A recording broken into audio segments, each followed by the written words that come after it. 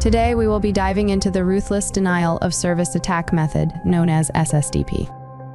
A simple service discovery protocol SSDP is a type of distributed denial of service attack that leverages the SSDP, which is a network protocol used for discovering and managing devices on a local network.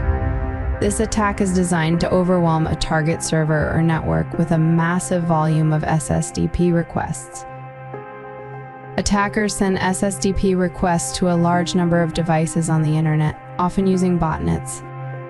They typically use source IP address spoofing to hide their identity.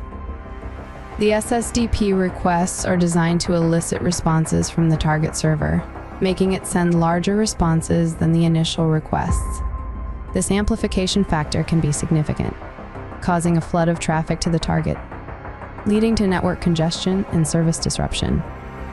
Under normal circumstances, the SSDP protocol is used to allow UPnP devices to broadcast their existence to other devices on the network.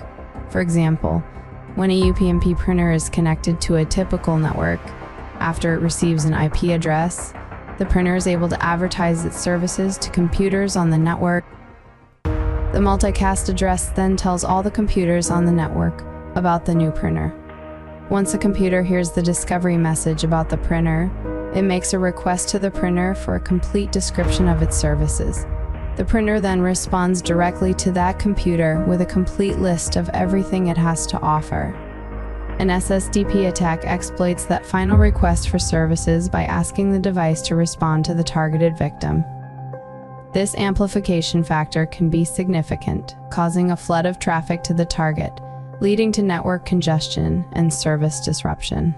What do you do when you are being attacked with such an attack? 99.9% of the time, the attacker is using a website based panel. This means they more than likely use the direct URL of your app or website, versus having to scavenger hunt for the backend IP address. To protect yourself and mitigate this type of attack will require a few things. The network administrator will have to implement filtering rules at the network perimeter to block incoming SSDP traffic from the internet. Rate limit SSDP traffic to prevent excessive requests from a single source.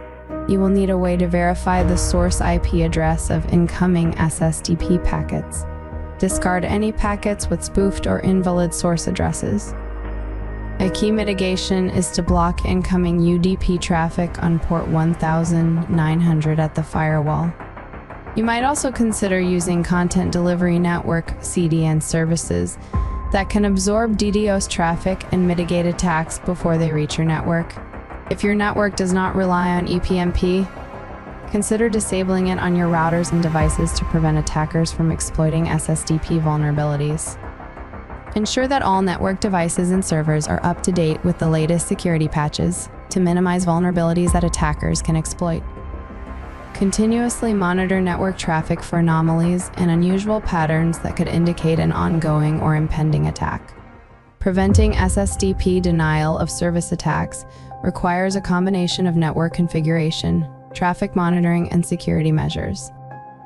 By implementing these measures and staying vigilant, organizations can reduce the risk of falling victim to such attacks and ensure the availability of their online services. Thank you for taking the time to dig into one of the most notorious denial of service attack method, SSDP, and the best way to protect yourself from it.